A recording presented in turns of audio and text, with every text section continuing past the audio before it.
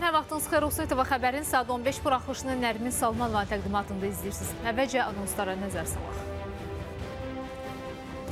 Şəxsi gitlik və şücaət nümayiş etdirmiş hərbi qulluqçular medallarla təltif olundular. Prezident İlham Əliyev sərəncamlar imzaladı.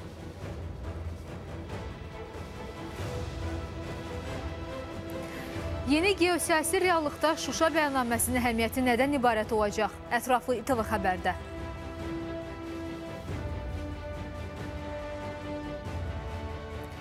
İranda jurnalistləri daşıyan avtobus qəzaya uğradı.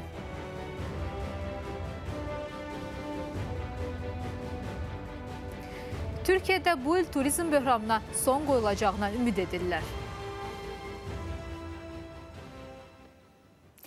İndi isə daha ətraflı Füzuli, Xocəvənd, Zəngilan, Cəbrayıl, Qubadlı, Ağdam, Kəlbəcər, Laçın rayonlarının Şuşa şəhərinin və Suqovuşan kəndinin işğaldan azad olması uğrunda aparılmış döyüş əməliyyatlarında iştirak edərək şəxsi gitlik və şücaət nümayiş etdirmiş hərbi qulluqçular medallarla təltif olunublar. Prezident İlham Əliyev bununla bağlı sərəncamlar imzalayıb.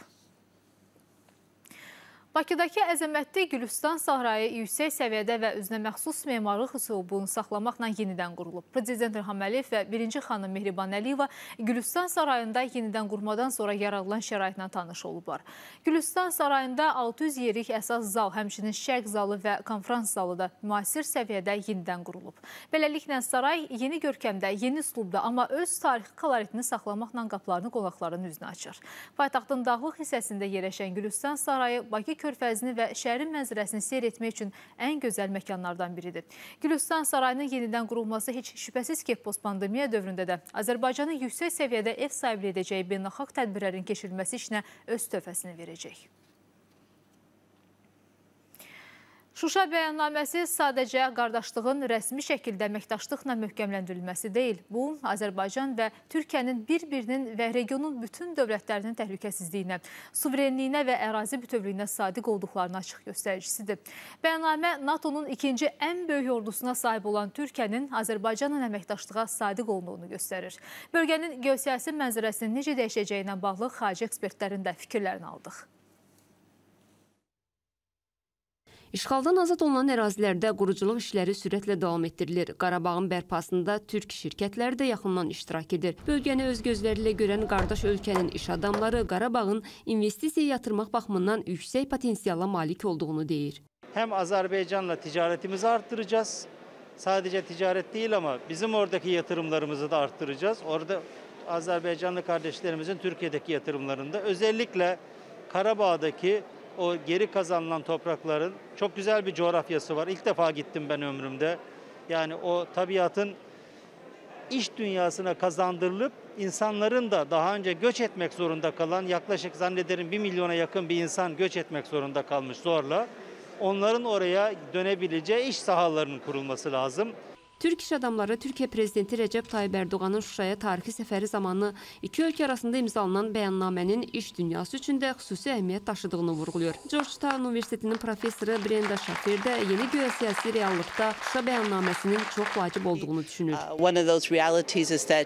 Bu reallıqlardan biri də müharibədən sonrakı dövrdə regionun təhlükəsizliyinin təmin edilməsinə Türkiyənin aktiv cəlb olunmasıdır. Azərbaycan və Türkiyə prezidentləri bildiriblər ki, bu bəyannamə sülh və birgə əməkdaşlığı genişləndirir genişləndirməyə əsaslanır. Bu həmçinin Ermənistana aid, hətta Türkiyə və Ermənistan sərhədinin açılması şansı da ola bilər.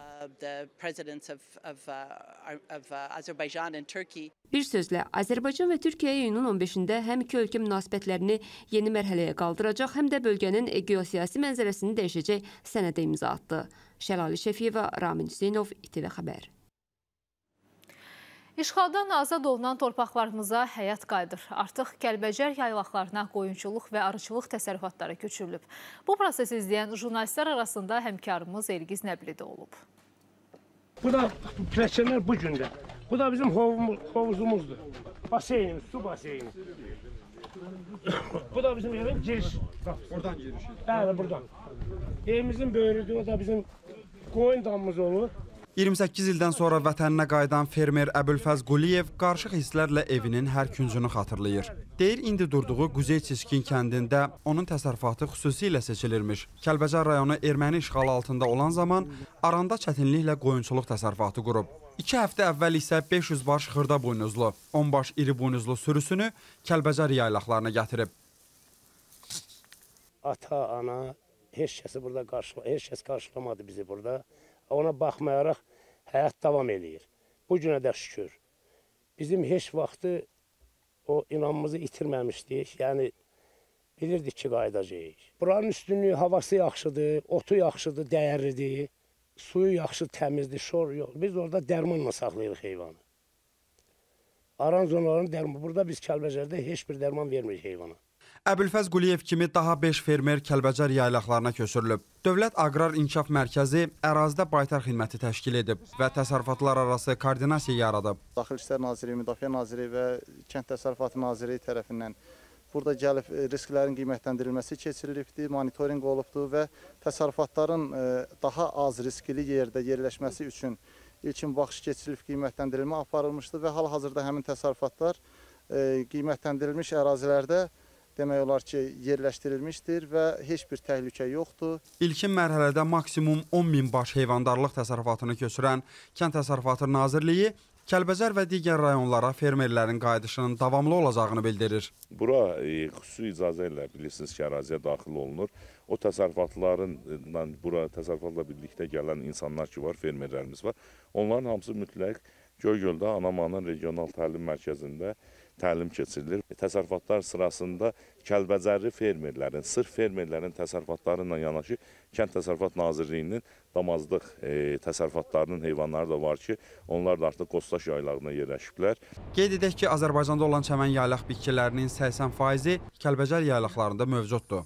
Bu isə ərazini heyvandarlıq üçün əvəzsiz edir. Elgiz Nəbili, İlham Abbasov, İTV Xəbər, Kəlbəcər. İTV xəbərə baxırsınız. Şanlı qələbəmizlə taclandırılan 44 günlük vətən müharibəsi sona çatsa da bu zəfəri bizə bəxş edən igid vətən oğullarından dillərə dastan olan qəhrəmanlıqları barədə hələ uzun illər danışılacaq. O qəhrəmanlardan biri də şəhid əskər Təbriz Xancanovdur. Şəhidin şərəfli döyüş yolunu birlikdə izləyək. Polad Həşimov Tov hadisələrində şəhid olarkən çox hiddətlənmişdi ki, əgər müharibə olsa mən də gedəcəm. Sonra gedib heç kimə demədən adını yazdırıb. Ayın 21-də də sabah-sabah tezdən çağırıldı. Elə yürə-yürə, elə-belə xoş niyyətlə elə getdi. Hamıya da xəbər elədi telefonda ki, mən müharibəyə gedirəm. Şəhid atasının haqqında qürurla danışdığı oğlu Təbriz ailənin ilk övladı olub. Döyüş hazırlığını hərbi təlimlərdə təkmilləşdirən igidimiz müharibənin ilk günlərindən döyüşlərə qatılıb. Ayın 15-i gün axşamüstü zəng elədi ki, mən güclü döyüşlərə gedirəm, telefonu bağlayıram. İşte şəhid salamat çıxsam, zəng eləyəcəm. Biz də onun zəngin ayın 16 günü vurulub, birinci minamyotda qılçasından vurulub. İkinci minamyot düşərkən yoldaşı vurulub. Yoldaşının dediyinə görə bu yoldaşım qutararkən götürüb qırağa qutararkən bir minamyotda düşəndə başını azad alıb orada şəhid düşüb. Deyirdi ki, hər şey yaxşıdır. Sağ-salamat qayıdıb gələcəm. Təzə nişanlanmışdıq, 3 ay idi nişanladığımız. Arzuları var idi. Gözəl arzuları var idi. Mənim də arzularım vardı, hamısı ürəyimdə qaldı. Fəxr edirəm. Belə oğul böyütmüşəm vətən üçün. Təbriz evdən getmədi, eldən getdi Təbriz. 44 günlük zəfər dolu müharibə günlərində müxtəlif istiqamətlərdə döyüş əməliyyatlarında fəal iştirak edən əskər Təbriz Xancanov düşmənin xeyli sayda canlı qüvvəsini və texnikasını sıradan çıxarıb. Yas mərasimində Goraboy tərəfdən bir uşaq ata oğul gəldi, əlində hasa. Dedim, oğul nə olub? Dedi ki, mənim ürəyim gəlmir sənə demə bir baba kimi. Mənim bu qılçamın sarığın sən nə böl sarıyıb. Deyir, o mənim ayağımı sarıyandan sonra o döyüşə iki dənə deyir, zadın postun götürdük ermənilərin. Üçüncü postdan deyir, mən artıq yaralandım, ağır belimdən yaralandım deyir. Mən gəldim, düşdüm Balensiya. Mən deyir, Təbrizdən xəbərim olmadı. Şəhid əskərimiz Təbriz Xancanov müharibə zamanı göstərdiyi igidlik və şücaətə görə ölümündən sonra vətən uğrunda, eləcə də Cəbrailin azadlığı uğrunda medalı ilə təltif edilib. Sərxan Kamallı, Rəşad Rəşidov, Tərlan Sallahov, İTV Xəbər, Göyçay. Davam edirik. İranın Nəqədə magistral yolunda jurnalistləri daşıyan avtobus aşıb. Nəticədə 2 nəfər həlak olub və 21 jurnalist yaralanıb. Hadisə yerinə 10 təcili yardım maşını və helikopter göndərilib. Bəzi jurnalistlərin vəziyyəti ağırdır. Jurnalistlər Urmiyə gölünün vəziyyətini işıqlandırmaq üçün ora üst tutmuşdu. Amerika Birləşmiş Ştatlarının Miami şəhərində çox mərtəbəli binanın bir hissəsi çöküb. Əraziyə 80-dən çox xilas etmə briqadası cəlb olunub. İnsanların bir neçəsi eyvandan xilas edilib. Ölən və xəsarət alanların olması barədə hələlik məlumat verilmir. Hadisənin səbəbi də məlum deyil. Amerika Birləşmiş Ştatlarında Kapitoliya hücumda təqsirləndirilən şəxsə cəza verilib. Yanvar hadisələrinin iştirakçılarından olan 49 yaşlı qadına şərti olaraq 3 il azadlıqdan məhrum etmə, 120 saat ictimai işlərdə çalışma cəzası və 500 dollar cərimə kəsilib. Digər təqsirləndirilənlərin işi üzrə araşdırmalar davam edir. Konqres binasına hücum yanvarın 6-sında həyata keçirilmişdi. Həmin vaxt eks-prezident Donald Trumpın tərəfdarları prezident seçkilərinin nəticələrinin təsdiqlənməsinə mane olmaq məqsədi ilə binaya daxil olmaq istəmişdi. Hər il milyonlarla insanın səyahət etdiyi Türkiyə çoxsaylı qonaqları qarşılamağa hazırdır. Türkiyənin Antalya bölgəsindəki otellər COVID-19-un vurduğu ağır zərbədən sonra bu il turistləri qarşılamaqda istarlıdır. Onlar ümid edirlər ki, artıq hər kəs ötən il demək olar ki, səyahətsiz başa vurduğuna görə bu il daha çox gəzməyə üstünlük verəcək. Və bu səyahət planında Türkiyə xüsusi yer tutacaq. Pandemiyaya görə 20, 20 aya yaxın qapalı qalan otellərdə Rusiyadan gələn çox sayda turistləri qarşılamaq üçün hazırlıq işləri görülüb. Artıq Rusiya Rusiya Türkiyəyə uçuş məhdudiyyətlərinin aradan qaldırdığını elan edib. Hesablamalara görə məhz bu ölkənin turizm sektoru pandemiya üzündən 20 milyard dollardan çox zərər çəkib.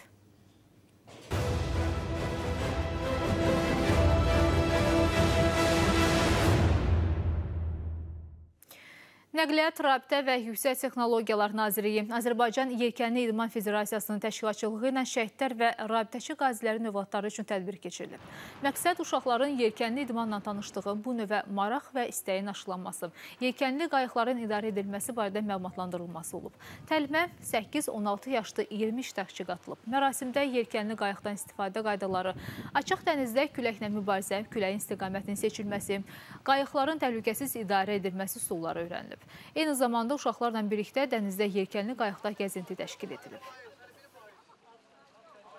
Bugünkü tədbirdə Dənizçi günü ilə yanaşı e, ölkəmizdə telefon rabitəsinin yaradılmasının 140 illiyinə həsr olunub. İki ildir ki, keçirilən e, tədbirin məqsədi e, şəhid ailələrinin övladları üçün əyləncəli, marifləndirici tədbirin təşkili, eyni zamanda onlara yelkənli idman növünü aşılamaq idi. Düşünürəm ki, onlar tədbirdən xoş əhval ruhiyyə ilə ayrılır. Eyni zamanda hələ uzun müddət bu tədbirin təəssüratlarını yada salacaqlar. Və sonda Beynəlxalq Muğam Mərkəzində Mədəniyyət naminə Sülh Qlobal kampaniyasının təqdimatı keçirilib. Mədəniyyət Nazirliyinin təşkil etdiyi kampaniyanın əsas məqsədi Azərbaycanın işğaldan azad olunan ərazilərində mövcud vəziyyətin, dağıdılan infrastrukturun və mədəniyyətə qarşı törədilən soyqırımın dünyaya çatdırılmasıdır. Tədbirdə iştirak edən BMT-nin Sivilizasiyalar Alyansının ali nümayəndəsi Miguel Angel Moratinos bəşəriyyətin gələcək üçün yeni yolda olduğunu vurğulayıb. O, Azərbaycanın inkişafının şahidi olduğunu da deyib. Əziz tamaşaçılar, bu saata çatdırmaq istədiklərimiz bu qədər. İTV Xəbərin saat 18 buraxışında yenə görüşəcəyik. Hələlik.